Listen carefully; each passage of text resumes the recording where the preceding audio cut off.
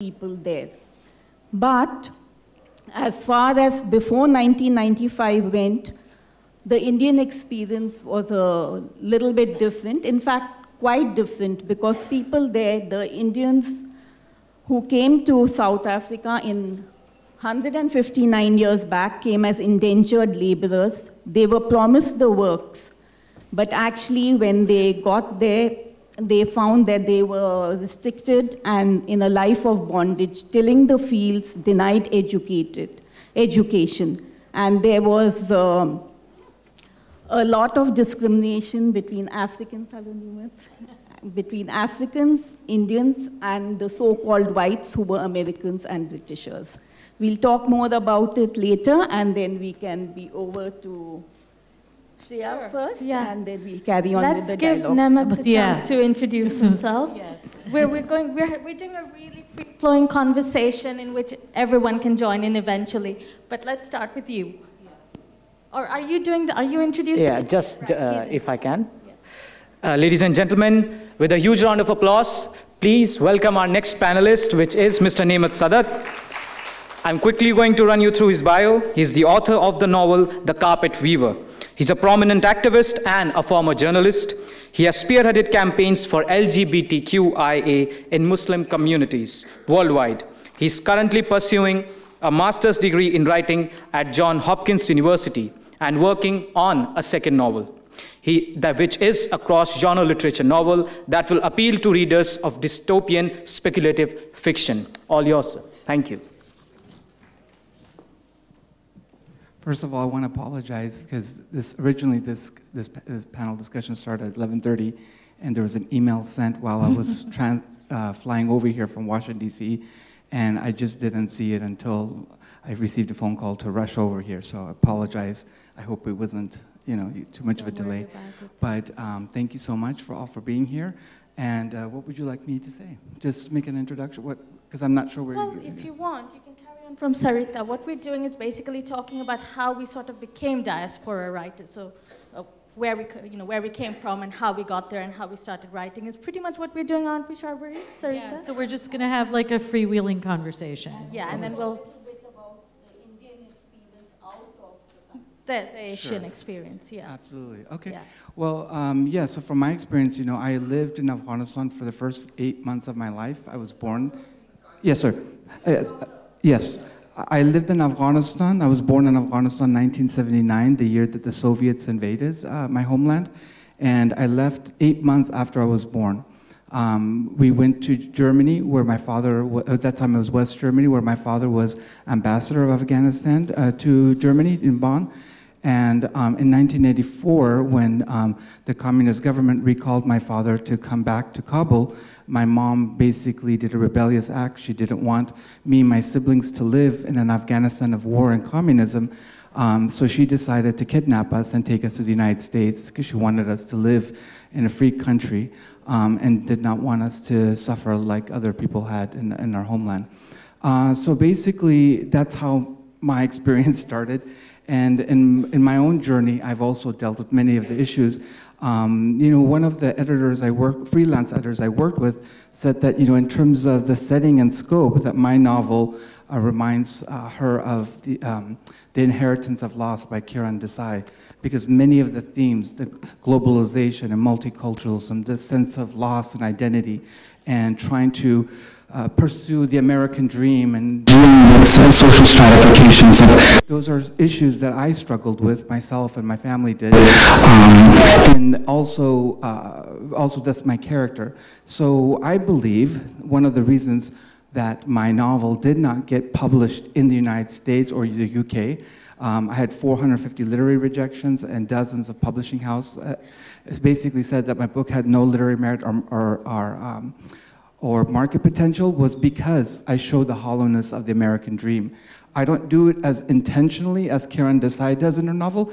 It's just my main character, if you've read The Carpet Weaver already, the same problems he had in Afghanistan and Pakistan continue to plague him when he reaches the United States, which is what the experience is like to be a marginalized minority to be someone who's gay and ex-Muslim, who doesn't believe in the religion, who has to reconcile his sexuality and his faith with a kind of society that wants him dead. Um, and then those problems continue, obviously, in Pakistan and even in the United States, which is still uh, doesn't matter regardless of the political situation, whether the liberals or conservatives or, or centrists are in power. It's still a country that was based on racial white supremacy. It's the first country that was based on that. So uh, my character is still, you know, like lingering in the space between uh, Islam and the West, Afghan and American culture, um, between gay and heterosexual. So there's trapped in a, you know, in a no man's land, you know, uh, what it means to be a native versus a refugee or an immigrant. So these are all issues that come up, and so that's how this came to be. One of the things I do want to touch on is we can't is the publishing experience in the U.S. for South Asians. Okay. You and I had like a little bit of an exchange on Facebook about it I- for a while ago. I think about how uh, if we cannot fit into this perfect category by U.S. publishers as South Asian writers, then we are unequivocally rejected. If if we're writing stuff that's not palatable to what they consider to be the Western audience. It's unfamiliar. It doesn't involve arranged marriages or turmeric or saris or, you know, so they don't know what to do with that, you know. And so I want to talk a little bit about that because that's part of the diasporic experience. Absolutely. Definitely. Well, I want to add something to that. So, I only reached out to one agent here in India.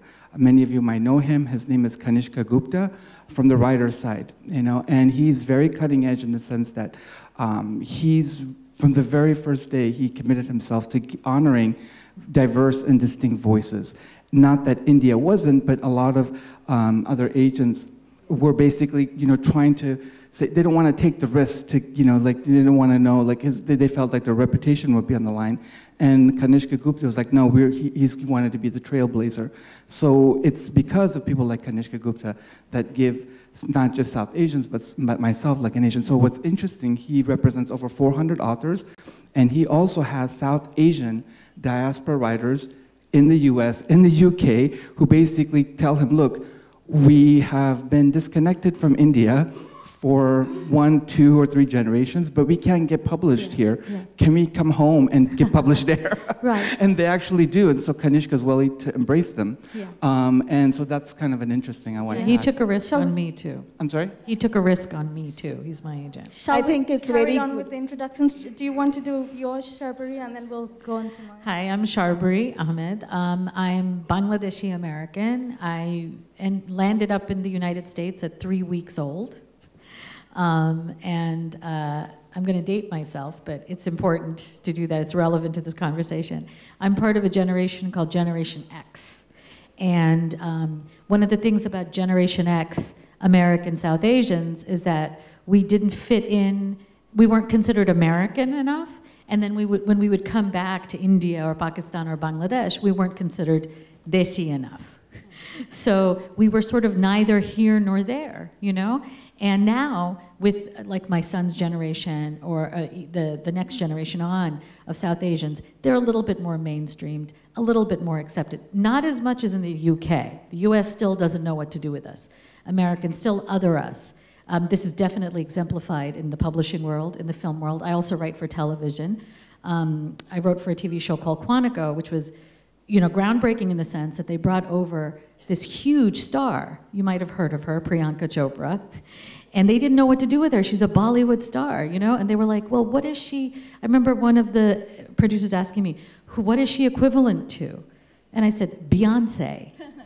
And they couldn't wrap their head around that, but she is, right? So, so that's part of my diasporic experience, and that has being neither here nor there, being not white enough, American enough, um, and then coming to Bangladesh and attempting to speak Bangla, which, by the way, I do pretty well for an ABCD. Um, you know, being a curiosity when I was in Bangladesh, um, that informed my writing and my novel, which we'll, we'll talk about later. I want Shreya to introduce herself, but um, that definitely informed my work and the novel that I'm here attempting to promote. Shreya, to you. Thank you. Hi, I'm Shreya Sen Handley, and I'm the perennial outsider. So much so that the outsider role has become second nature. I love it, I'm comfortable in it, and I don't know if I could be anything else now. I straddle both worlds, and I think we all straddle both worlds with ease. And, and we, we've kind of carved a niche. As you know, the Indian diaspora, the Asian diaspora has carved a niche of its own, and they're doing well in their own way. you, you do, you, you are always a misfit. But then I come from a family of misfit, misfits. Uh, I, I, come from a Bengali literary family. Um, but we have such an interesting history and we were always very peripatetic, so we've been all over the world. Sorry. Uh, yeah, this is a problem I'll have to get past, you're right. I tend to wave my arms about. Okay. So, uh, yeah, so um, my career started here, uh, though my childhood was all over the place. Um, I grew up in Southeast Asia and various other countries, um, and then I got into television. So uh, I was in CNBC. I made music videos for MTV, which were amazingly, they, they were popular. considering we were young, we were 21, 22, we didn't know what we were doing. Um, and then after that, I suddenly found myself head of Rupert Murdoch's Channel V in Eastern India. Uh, again, I was still about 24, 25 then. It was all happening really quickly. So as you do, you then suddenly implode. Uh, which I did um, in terms of my career. I met an Englishman on holiday, we got married, and I found myself in Sheffield in South Yorkshire, which at the time was a kind of industrial town in decline. So uh, it wasn't the perfect place to have a sparkling media career, as I found to my shock eventually. Um, this many years down the line, I'm now, and I, and I say this with great humility as well as a lot of excitement, I'm now the first South Asian female to have written a, a major opera uh, for a major international operatic house. Um, but that has taken 19 years. Mm -hmm. um, because when I first got there, and I was uh, kind of, I, because I was in an, I found myself in an abusive marriage uh, I found that I couldn't leave Sheffield. Perhaps if I'd been able to go on to London, there could have been things I could have done at the time. But I got into corporate communications. I first was, found myself at the contact center after having been chief of a television station here. That didn't last long. I was the worst contact center employee ever. Um, and uh, so then I got into, eased my way into corporate communications. Uh, my first husband's name was Steve. I divorced him. My second husband's name is also Steve. I'm with him. He's fantastic. Uh, they're both from Yorkshire. they're both from Yorkshire. So every time I brought home a Steve from Yorkshire to introduce to my parents, they thought, oh no. but the second one worked out. We have two lovely children. Um, along the way, after the children were born, and I found myself at home again, I thought, well, I don't think I want to go back to corporate communications. It's not really me. It's very stiff upper lip. Um, and I started writing again. The Guardian was the first to come knocking, which was an amazing place to start. So my, my uh, journalistic career was revived little by little. I found myself writing a column for CNN India about the female body. At the time, it was very unusual for an Indian woman, this is going back six, seven years now, to be writing about Indian, uh, an Indian woman's sexuality, her body, uh, my body, your bodies, and uh, it got immensely popular to my amazement. Uh, I was actually getting more uh, footfall, more readers than the Rajdeep Sardesai, so you can imagine. Was, that, was, that was very satisfying, very gratifying. Um, then HarperCollins came and wanted to convert it into a book, and Memoirs of My Body came into being. Um, I have since written my first book of fiction um, called Strange. I won't go on about it, but I was just trying to tell you where the trajectory was. I found that I was writing books for India, and I was writing other things like plays and eventually the opera, as I said, for England, for the West. And it feels kind of schizophrenic sometimes because you're kind of really pulled in different directions. But it's also incredibly satisfying to have that kind of double life and be appreciated in both countries. Well, it's material too. It's copy, it is, right? It is, I mean, it's inspiration. Yeah. And um, can I ask? I want to ask you a question. I want to ask you about your publishing journey in South Africa and what it means to be South Asian in South Africa now? Well, my publishing in South Africa, I was published in many different anthologies. And uh, in the newspaper publishes me very regularly. There's a column in the Mercury newspaper, which is a very popular newspaper, and it's called the Idlers column. So all those people who are idle and they just like to chill and relax and they love poetry and just little bit of tidbits, then they read that column. But it's uh, one of the columns which is well read. As far as my publishing, I wrote this book. It was called Once Again Love, with the subtitle Reconnecting with the Heart. Now, when people listen to this title, they think, is it a romantic book? Did you find love once again? Yes, I did, but it was just with myself. Because after a very, uh, I had a back operation in 2006. I fell down a flight of steps in London, and then I got up and went about things, and then it led to a back operation. And I was actually teaching Reiki and running motivational courses called The Caterpillar Flew High after it became a butterfly. But now, at the time of the back operation itself, I was happy. I believed in Reiki, spiritual energy, sound healing. I would tell everybody that if sounding is very good for you, the body heals itself.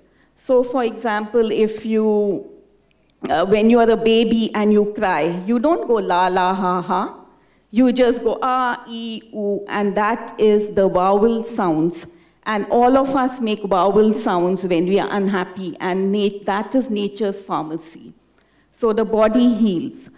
But after the, after the back operation, I came out of it in a deep, deep depression. So much so that I was suicidal. And then I started they, nobody knew what had happened. And then I started channeling. And though, like some of my school friends are here today, my family members, thank you for being here. And uh, I used to always write poetry. When I was in school, I would write poems about them. And uh, I started like channeling. In the morning after the back operation finished, I was in this deep depression and I would get up in the morning at 3.34 and I would write copious amounts of paper. And I would keep writing and I wrote about love, about life, about relationships, about friendship, and about what had happened to me and how I must live my life in an inverted way. That is, that you know you go up and down the crests of life like the ocean waves but you know that you can always come up to the top and that is the apex of the V. So it's, I, I live my life like the inverted V, and in money, my own natural energy yields a given treasure, heart full of pleasure and delight, happiness emanating from the soul to reach its goal, money. And that is abundance, the abundance which comes from within you. And then that spills out. Nowadays, it's known as the attitude of gratitude. It's not thinking, but it is the attachment of the uh, emotion to the thought. And when you give gratitude with emotion, gratitude has to come. So it's not the feeling of want, the universe is bad, this one is bad to me, wallowing in sympathy, but the fact is that you yourself are abundant and you give of abundance. Back to the question which was originally asked. Well, uh, I did try, I wanted to check and see about my publishing journey and see whether my book could be published. I sent my book to a few people, both in India and overseas, but I got no response. Then I was told that why don't you go through Amazon? And Amazon has a publishing unit called Create Space. So it is like a, a print on demand and you have different packages. I think it's now known as vanity publishing. So you pay for the package you want, and you have an editor. They are very, very efficient. They edit your work, they put it on Amazon. But I was told that I must not become a co-producer, a co-creator with them. I should then become an independent publisher because then I have the freedom in all different uh, countries to publish my book as I want to. Um, go on. Yes, I was, I was just struck by something you were saying, which I think might be relevant to all of us. You were talking about love and relationships and family. And diaspora writing is so often about the connections that we have around the world. You know, the, the family here, the family there, the relationships that we build.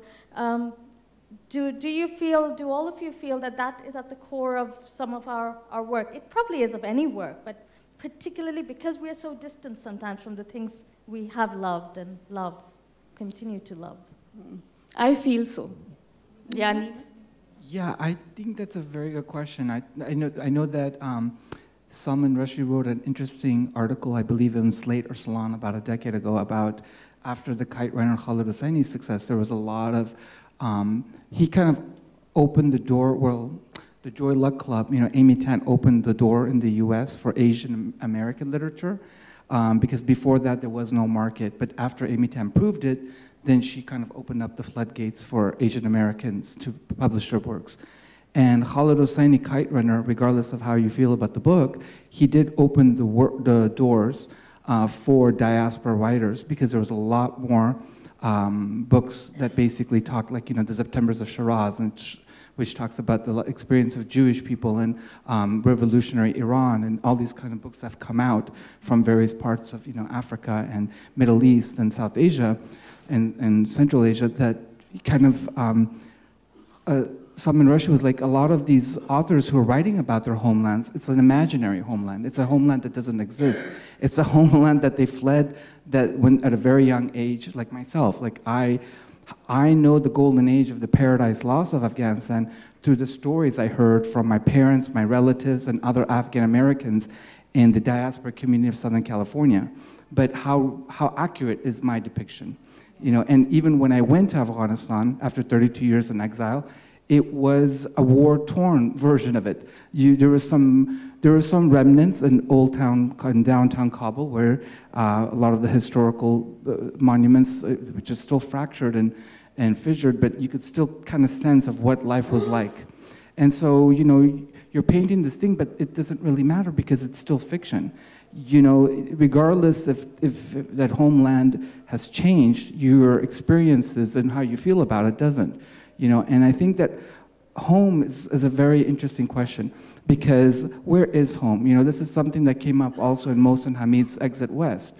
You know, when uh, you know this couple's trying to exit through these doors and end up in different places. But what's, what's, what's really what that what that book really showed is kind of like um, this new definition of home because people like us as diaspora writers, we should see ourselves as an opportunity because we grew up in an international environment. We're able to bridge cultures. We're able to see things from a different lens as we have this unique experience of being an insider and outsider at the same time. We're a stranger yes. in this strange land everywhere we go and we feel this kind of dislocation and but at the same time we see it as an opportunity because um, because the transient nature, the fastest growing identity are people who are transnationalists, who basically are crossing borders. And we're going to see more of that with the climate crisis and more migration issues that are happening for other economic and social issues.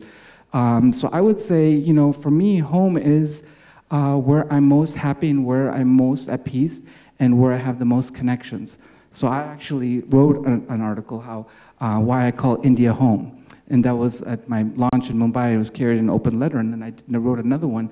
I had an event in Bangalore for my uh, um, for my book launch for the carpet weaver there, and I wrote an article, and it was the subject of my speech. It was, um, coming, it was on National Coming Out Day, so we had LGBT activists talk about their experience coming out, both when um, it was still criminalized, Section 377 was still enforced, and what it was like coming out after, when now it's, it's legal.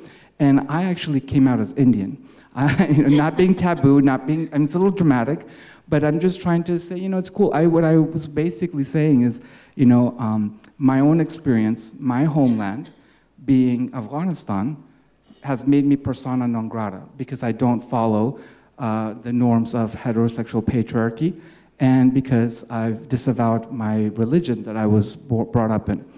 And, um, and my uh, adopted land, which is the United States, has, I've had a very complicated relationship there because of the fact that I came of age on, uh, right after September 11 terrorist attacks, and all of my identities, being a repressed homosexual, an Afghan, an American, a Muslim, um, at the time, were I felt like I was under siege and had to constantly prove my loyalty, had to prove that I was worthy, I was to prove all these different things.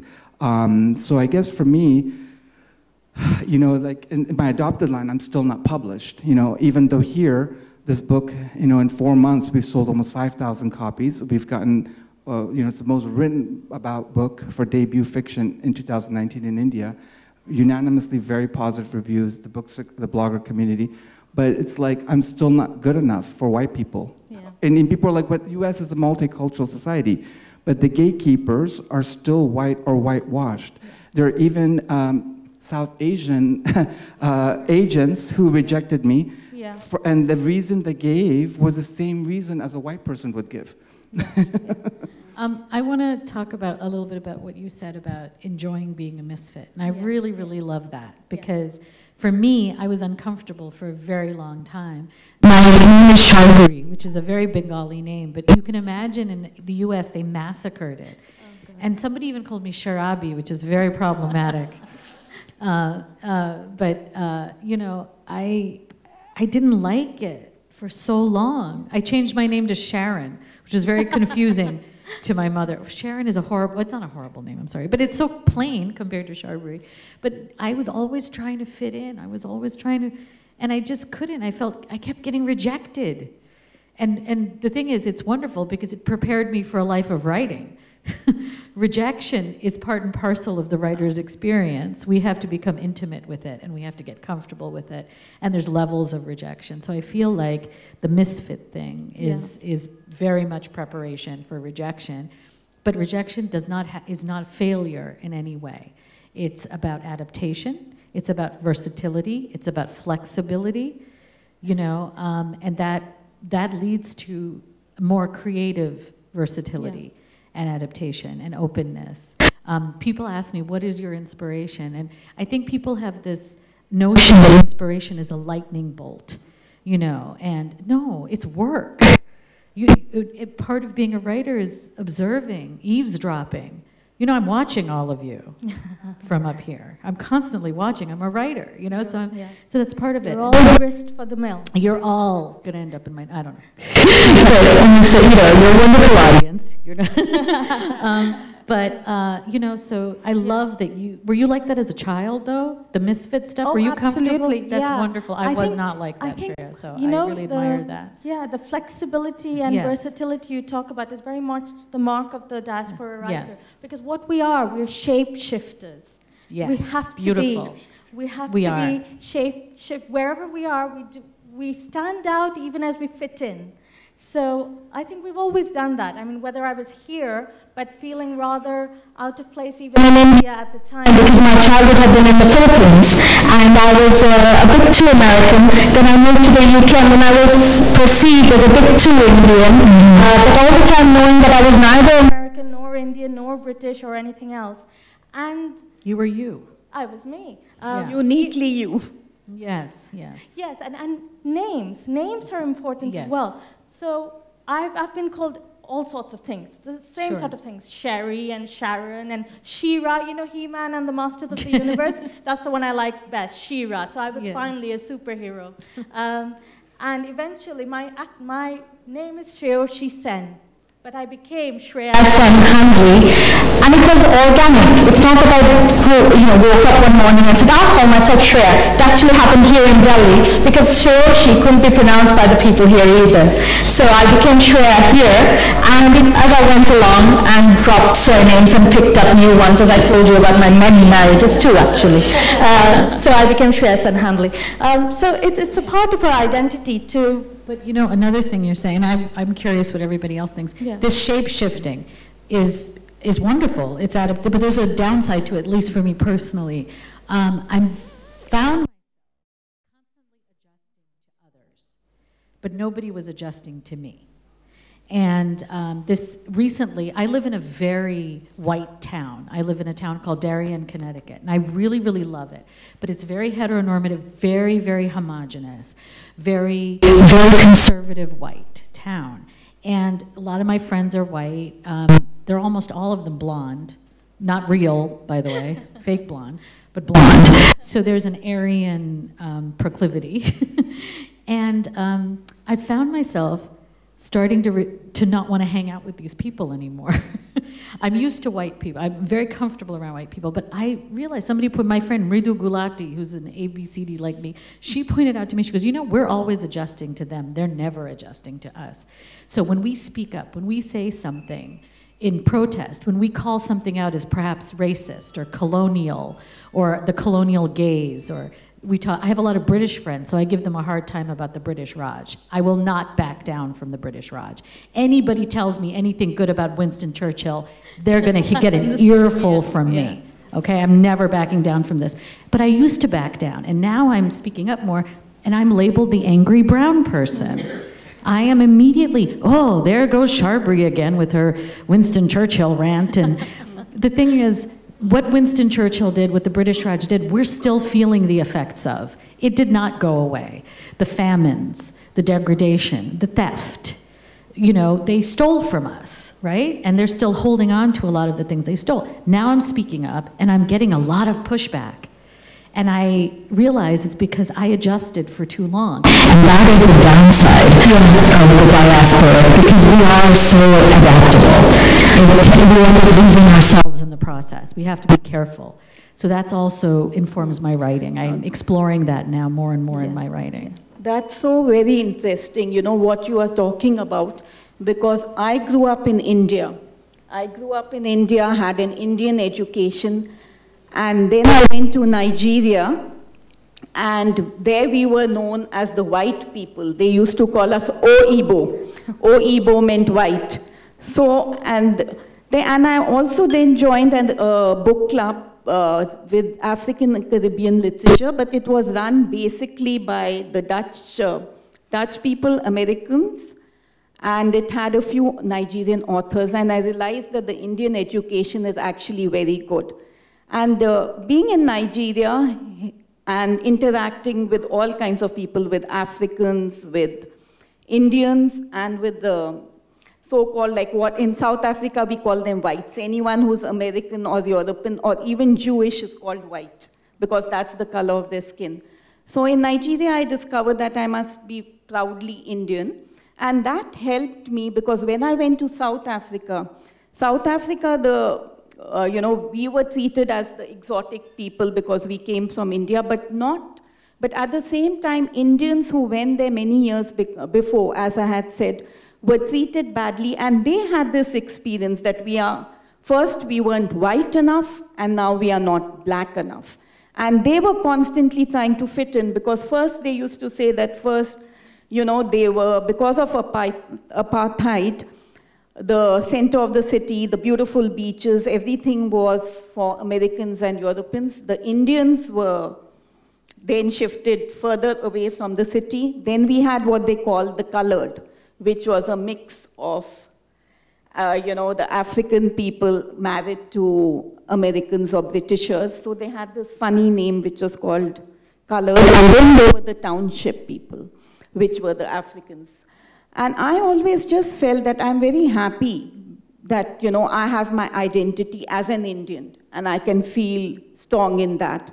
Because people, South Africans of Indian origin, constantly had to prove that they were South African. And that, yes, their loyalty, as, you know, as Nemat said, that their loyalty lives uh, and belongs to South Africa. We are not from India, we are, because otherwise they'd feel that we are not belonging to India, we haven't grown up there, we don't belong to South Africa, so what are we? So they, people there were facing an identity crisis, which they are said like shapeshifters. Which makes me think I want to put yeah, the question I, to you. Wanna, go on, you go on first. You said, and you yeah. said it's very interesting because um, intersectionality of identities is a good thing, and it also can be very complicated. I recently, uh, you know, one of my ways of coming to India is hosting Airbnb having Airbnb guests come stay at my place. So I have people from all over the world. Um, this year I had the privilege of meeting an Indian from South Africa, um, and she basically told me that her ancestors were brought over as slaves centuries ago from India by the British to South Africa to build this nation of South yeah, Africa. 159 years ago. 159 years ago, mm. there you go. So she was telling me that that's her roots and she's very proud of it.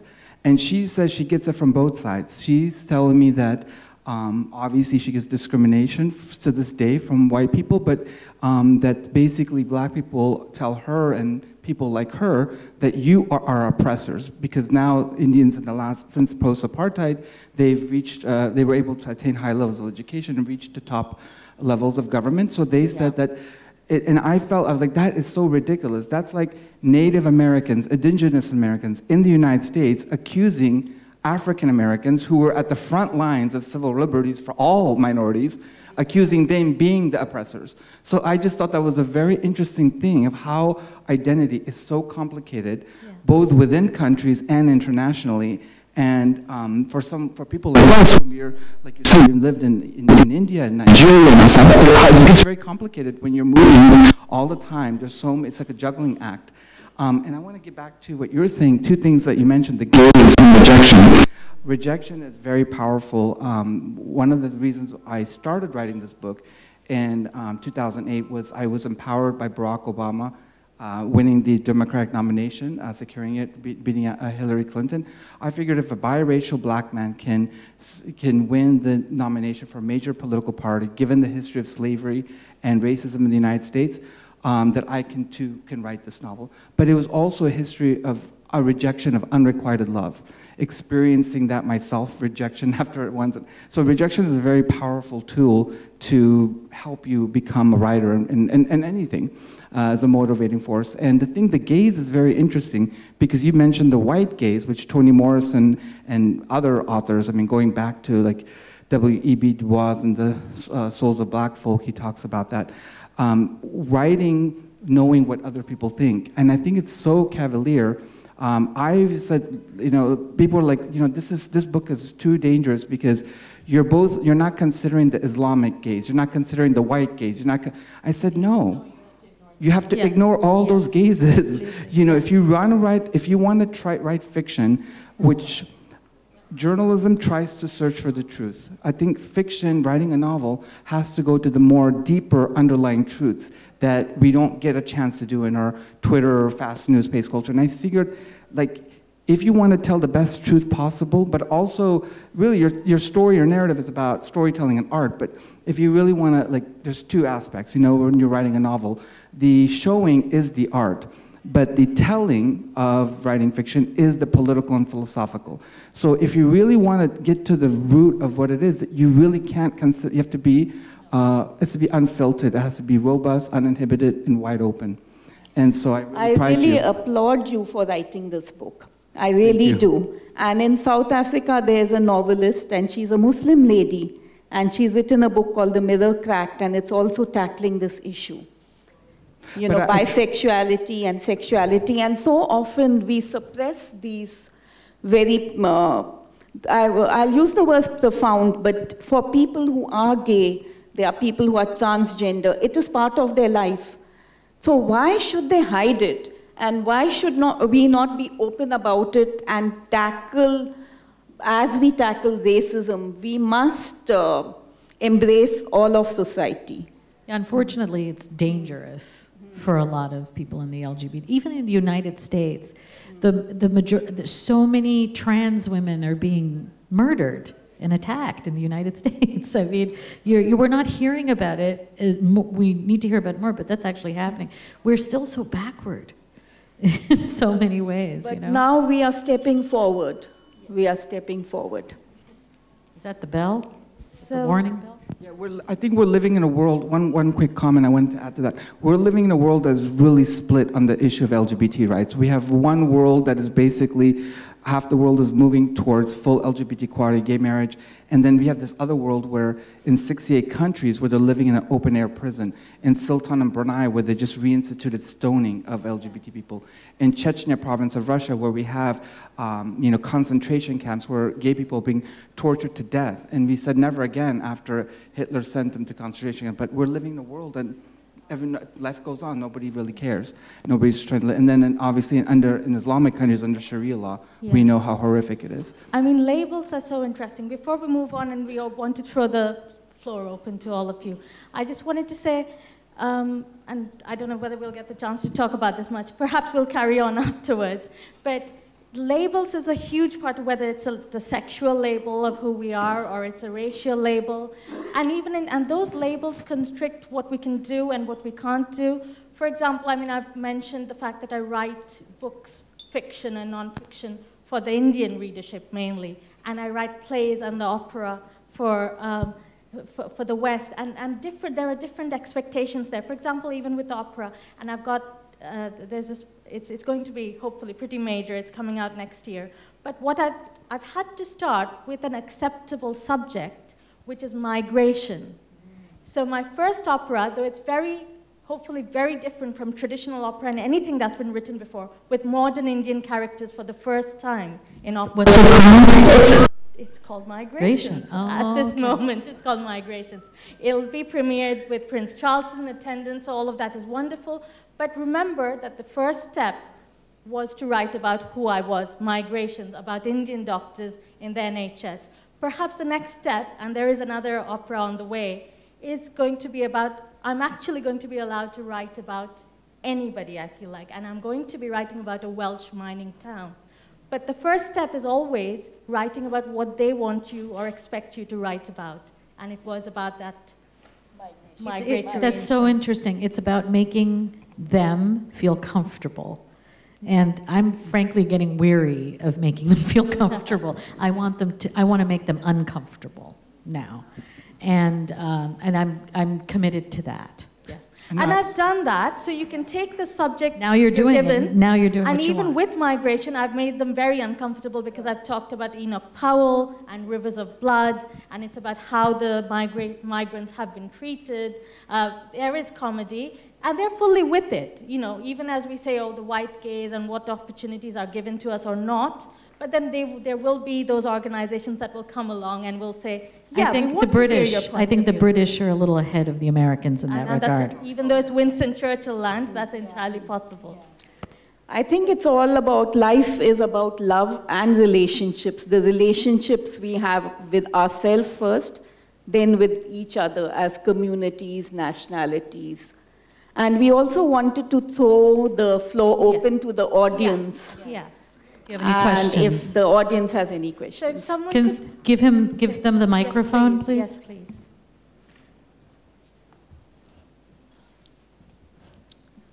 So I have two questions actually, but the first one is that uh, do you feel that with the current generation, the experience has been different because of all these uh, mass media and social media and so much of connectivity where a child even in a village in India is connected to something that might be happening to a child in the USA or for example the climate activists and you know how kids in India have also taken up the same cause. So will their experience be very different from what I'm yours just going to say something very briefly before I... Uh, even though there's connectivity, don't you feel in many ways we all live in e- echo chambers? Yeah. It's also becoming very fragmented, very postmodern. I had very young millennials who reached out to me, um, you know, early 20s, and they're like, "Thank you for writing a book," because I'm a Generation X. So I, they're like, you know, I feel like I'm a bridge between the um, between millennials and the and, and the baby boomers, because the genera- the millennials they don't remember that world when we just had passive media newspaper or one television program on television and we'd watch and that would basically be our thing. And we would spend most of our time with social connections with people not on, Yeah. on so they don't remember that world. So they see a glimpse of this world in my novel and they are like they're fascinated by it because they're like now it's like they kind of miss it. They feel nostalgic for it. And I think that's very fascinating when you have millennials who are saying that you know they're tired of this fragmented bit by bit, piece by piece uh, life, and they want to like f- get a dose of that. So, um, so I yeah I do agree that we are moving ahead, and, but we are also there's other things that are setting us back at the same time. Yes, absolutely. Uh, the second question which I had is that uh, just as you're saying that you know there are some children or the younger generation looking up to you, did you uh, each one of you have someone who you looked up to uh, for your struggles uh, to be as a motivation to be successful? For me, it was my parents. I really looked up to my parents. I, I was, I'm very blessed with the parents that I have, you know.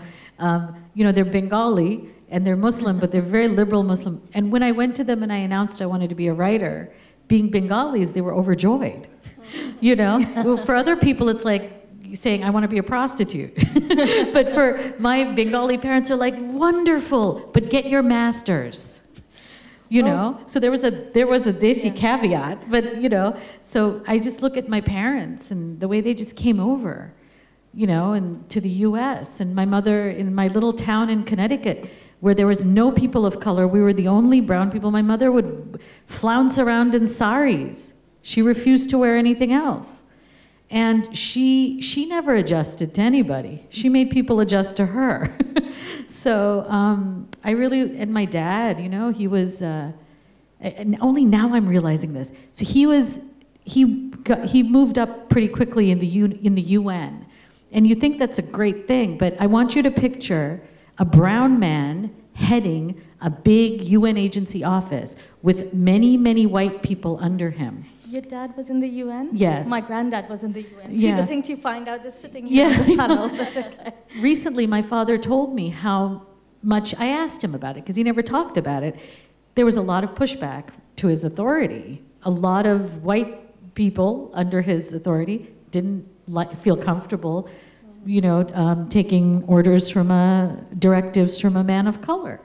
And you can imagine this is in the 80s and 90s, so it was even worse. So I really, I think I look up to them. Unfortunately, or fortunately, whatever, my creative role models were all white or black, For me as well, yes. not yes, South that's just Asian. how it was. Yeah, just how it was. Um, yeah. I, Yeah, for me, I would say um, Oscar Wilde, because he not only was he a playwright and a novelist and such a talented artist, but he was also an activist. I mean, he was put in It was prison, out and he was out in openly the gay man. 1890s. Yes. In 1890s, Yeah, when it was they, the, like the was buggery jailed. laws and sodomy Yes. laws were still in effect in Victorian England. So he kind of people say you know he kind of paved the way for England and Ireland and the, that region, the UK, to get the thing. So me being the first Afghan to come out, I feel like that he inspired me because I'm an activist artist. I came to art as an activist and I evolved as an artist.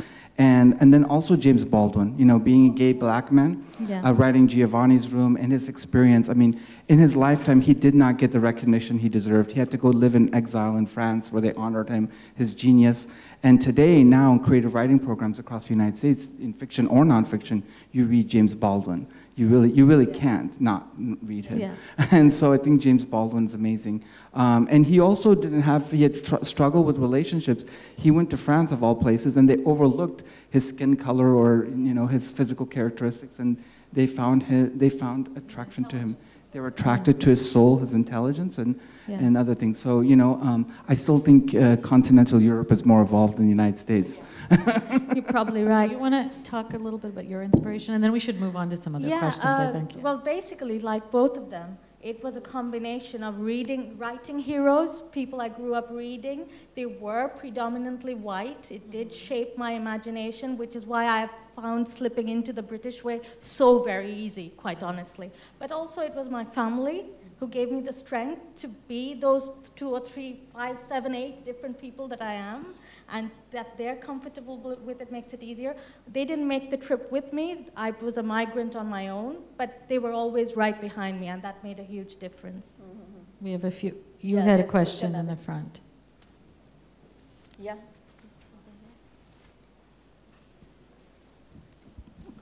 Hello.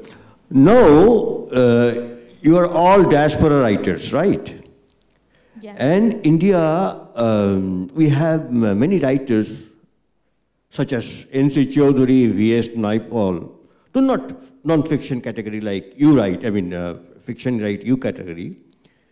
My question is this, those people like Naipaul or N.C. Chaudhuri, there are many of them, I, I, I've read particularly these two, uh, how do you compare, if you have read them, how do you think about them, and how do you compare yourself, your generation, with them?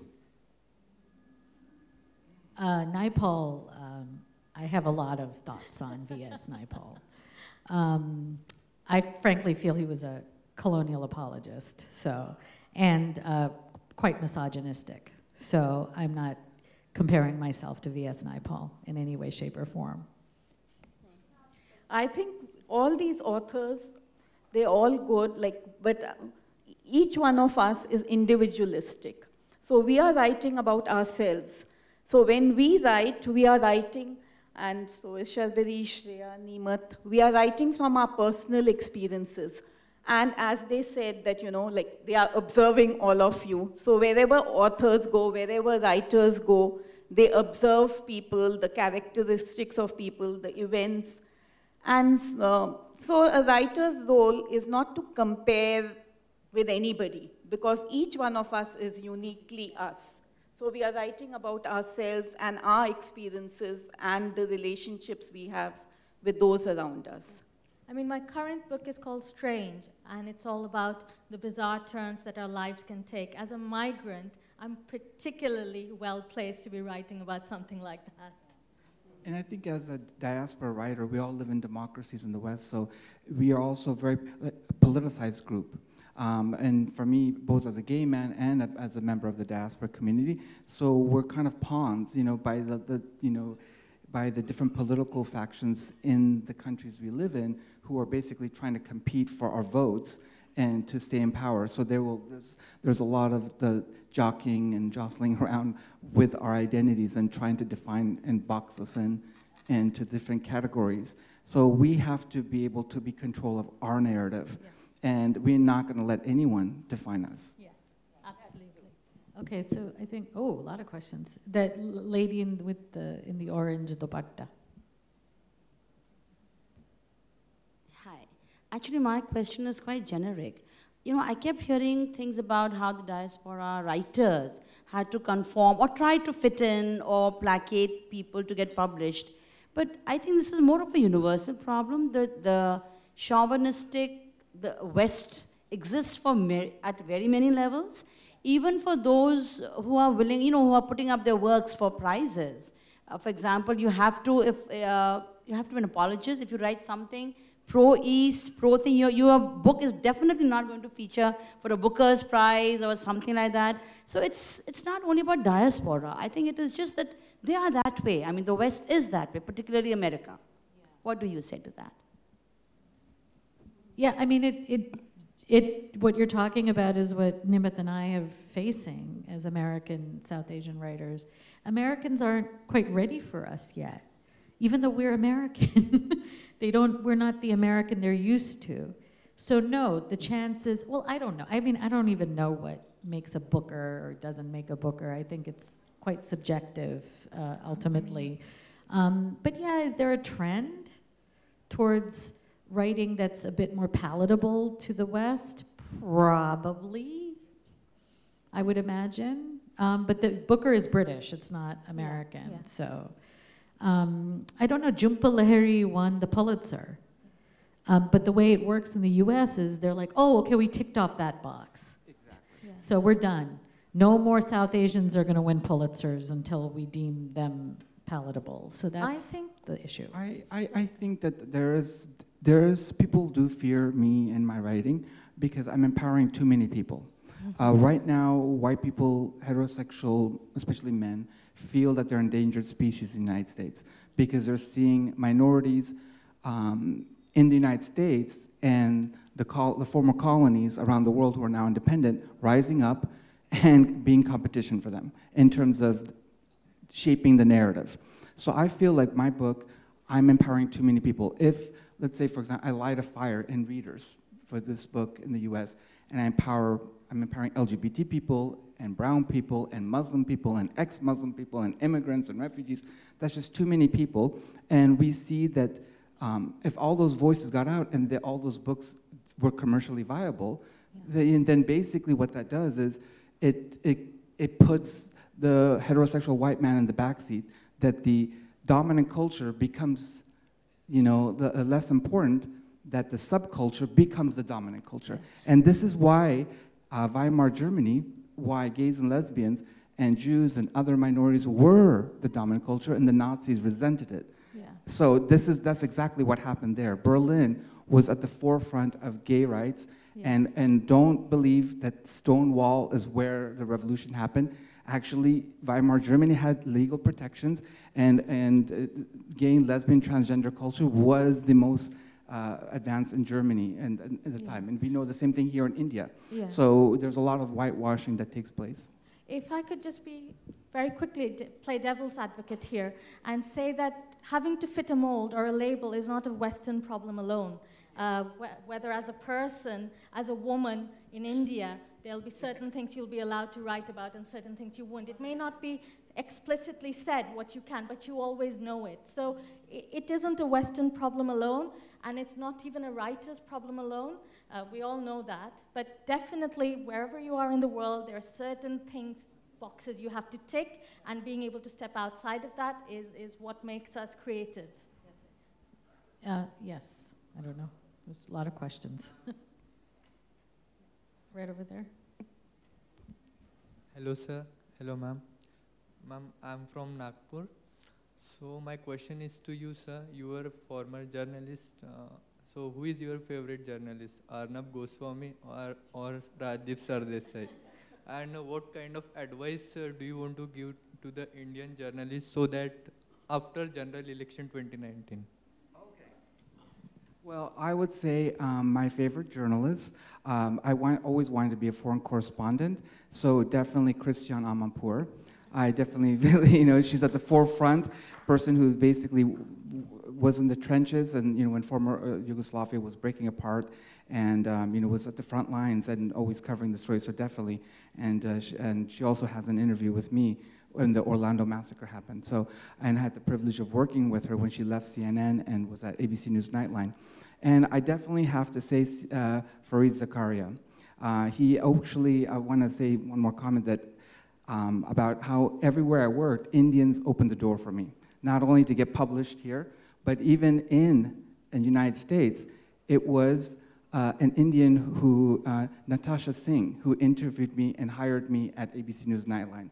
Eh, I worked at CNN Fareed Zakaria show. When the Orlando massacre happened, I had hundreds of contacts, and I wanted to go on, on, on the news and speak because here we had Democrats talking about the mass shootings and Republicans were talking about, uh, you know, like how we're going to pr- protect LGBT community from foreign Islamic terrorism because we only want white supremacists to kill LGBT, not those Muslim people. so basically, um, I, Fareed Zakaria is the one who basically pitched me and made sure that I got on CNN. And so like, and, and I can give, I, have a, I can give many examples of how diaspora Indians actually helped me. You know, like my, my Oxford thesis advisor was a Chatterjee, and my acquisitions editor here was also a Chatterjee. so going back to the Bengali. But yeah, so basically, so that's a very important. I mean, um, there's a reason why that there's a connection that they really feel that my voice really needed to get out there. Um, so to answer your question, um, those are my journalists that I, I, I give my salutes to. Yeah. Can we have one last question from the lady there? She's been, If we can fit another, we'll, we will. Uh, hi. Writers are always great thinkers. Now, I have just one single question to ask. What do you think um, are the prospects of climate change protesters trying to, you know, make a point to the policymakers and the government that this is real in the light of the COP25 summit, please? Thank you. Do you want to, who wants to answer that one? Ca- Actually, I didn't hear it clearly. Can you, can you repeat the question and speak into the microphone? Yeah, i- is it better? Is it better now? Now, writers are always great thinkers, so I want your take on the climate change issue that is coming up in 20, um, COP25. Why protesters are not, uh, you know, listened by the governments, and why? What can the main street do? Thanks. Well, in the United States, um, the Trump administration is um, solidly committed to denying climate change. Um, they have cut uh, aid to the Environmental Protection Agency. They have um, allowed, re-allowed fracking. They are, um, they have withdrawn from various international treaties. So um, the United States is in dismal shape concerning climate change. Um, and uh, so all we can do is continue talking about it, uh, arming the public with facts, uh, and uh, protesting as much as possible, and writing about it. And absolutely, this is something that you're going to see. In fiction, you're going to see more and more novels and stories dealing with climate change and the after effects of it, definitely. In South Africa, climate change is being taken very, very seriously. There are lots of books being devoted to it, especially uh, targeted at school children because they are the real game changers. And um, in Diva, at Diwali time, a couple of months before Diwali, people start protesting about the use of fireworks because of uh, the environmental uh, damages, but also because of noise. And uh, Westerners, white people are very worried that their pets will get lost and frightened because of Diwali. So they are the three things. So more, uh, like I always think of noise pollution, climate change, but the protests are that look after your pets and stop the fireworks. But besides that, fracking, as uh, just mentioned, uh, that's being disallowed. And there's a lot of environmental protection, and there are laws being implemented out there. And there's protest action also taking place. And I would just say I'm an ethical vegan, so I would promote uh, veganism for everyone in the crowd because you can reduce your carbon footprint and help the environment in addition to helping the rights of non-human animals and improving your health because fending off against Alzheimer's and cancer and diabetes, so you're reducing healthcare. So you're targeting climate crisis, the health crisis, and also expanding civil liberties to non-human animals. Do we have time for one last question? There was a... Okay. Oh, gosh. You choose. These last two gentlemen. Okay. Actually, you must be all aware human life left on this planet is only 100 years. After 100 years, human will disappear from this earth. Please take note of this, all of you. it took nature 1 million years to raise CO2 level to 200 ppm.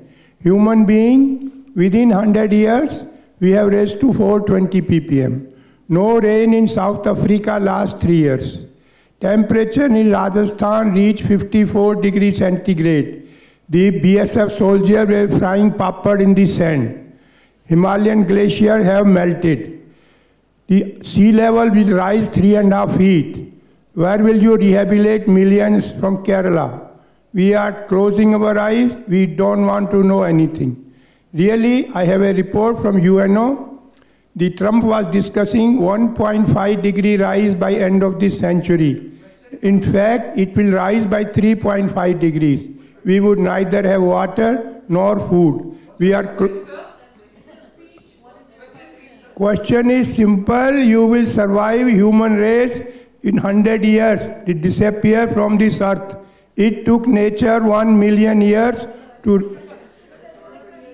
We agree with you. We do. We, we agree with you 100%. I am the oldest living IITian of India, BTech from IIT Bombay, MTech from Imperial College London, worked for UNO on this climate change. You are sleeping, you are working for your grandson, but you are not thinking of climate. Thank you, sir. Yes, thank you, thank you. Okay, there's a question right there. I think she said oh, no more time. No more time? Is, is, is it a very quick question? Can we fit it in? Okay, okay sure.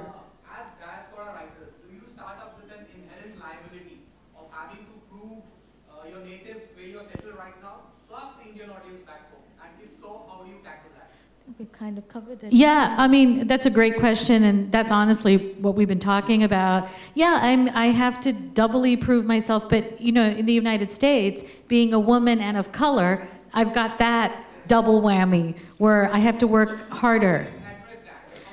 You know what? I don't. I just create, I just tell my stories.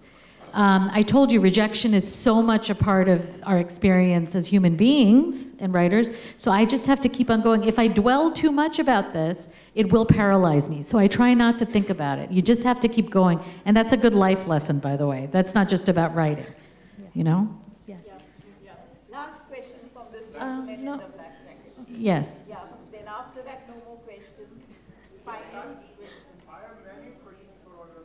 Oh dear, I don't think there's I don't think there's time for many questions. Hello. You know, the political profile of Indian diaspora has changed, has become more pronounced thanks to Mr. Prime Minister Modi. what is the impact of this in the local society where you are living? And the second question, what is the impact of this on your writing? You know, the political profile, the increasing political profile of Indian diaspora all over the world. Well, you would think that it would help us if the profile is increasing, but um, as a Muslim, uh, I'm not sure, you know, my profile would increase. you know, I'm, and I consider myself an American, so, I mean, I think that India is taken far more seriously now. Uh, economically, it's a powerhouse. Um, creatively, you know, it, it, con- it, it's contributing, its contributions to uh, the entertainment industry in the United States is increasing. So I think it's a good, it's a, it's a good thing um, that the Indian profile is increasing, and it does help me, I guess, ultimately. Can I just Um, end on the note that, as we know, the whole world is swinging to the right, and as outsiders and creatives, we're all trying to find that balance and that space for all of us. Thank Nicely you very put. much. Thank You've you so a great much. audience. Thank you. Thank you. Yes.